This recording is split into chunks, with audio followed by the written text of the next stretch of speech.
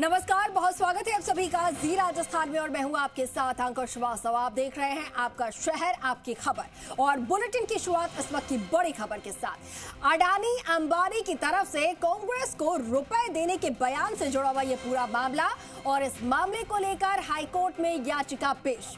पूनम चंद भंडारी ने याचिका दायर की है। मनी लॉन्ड्रिंग के तहत मामला दर्ज करने की गुहार और आईटी विभाग को अडानी, अंबानी और कांग्रेस परिसर की तलाशी लेने की मांग। ज़रूरत हो तो पीएम मोदी और अडानी अंबानी से पूछताछ करने की भी बात यहाँ पर कही गई है।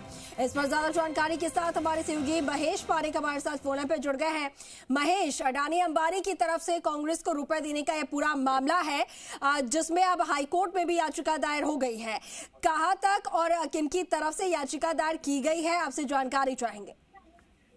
देखिए बीते दिनों पीएम नरेंद्र मोदी ने एक भाषण दिया था इसमें कहा था कि पिछले पाँच साल तक से जो है राहुल गांधी बयानबाजी करते आए हैं अडानी अंबानी को लेकर लेकिन अब उन्होंने बिल्कुल जो है बयानबाजी करना बंद कर दिया है तो ऐसे में क्या ये माना जाए कि दोनों जो उद्योगपति उन्होंने टेंपो भर भर के जो है कांग्रेस को पैसा पहुँचाया है कि इसकी जाँच होनी चाहिए हम्म। इस बयान को लेकर ये पिटीशन पेश हुई है पूनम चंद भंडारी ने याचिका दायर करी जिसमें केंद्रीय गृह विभाग मुख्य निर्वाचन आयुक्त सीबीआई इनकम टैक्स और जो है ईडी इन सबको पार्टी बनाया ये कहा है कि चूँकि प्रधानमंत्री हैं वो एक देश के प्रधानमंत्री हैं ऐसे में उनके कथन को असत्य नहीं माना जा सकता और जिस हिसाब से उन्हें आरोप लगाए हैं हम्म। ऐसे में अडानी अंबानी और सीबीआई जो कांग्रेस है इनके परिसरों की तलाशी ली जानी चाहिए।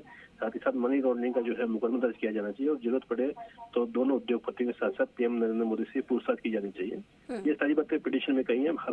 आज पिटिशन जो है पेश की गई। आने वाले दिनों में जो है हाईकोर्ट इस पर सुनवाई करेगा। जी। ठीक है। ठीक है महेश, शुक्रिया आपका जानकारी साझा करने के लिए। तो देखिए, कोर्ट में याचिका जो है, वो दाखिल की गई है और अब आगे वाले दिनों में इस पूरे मामले में सुनवाई होगी।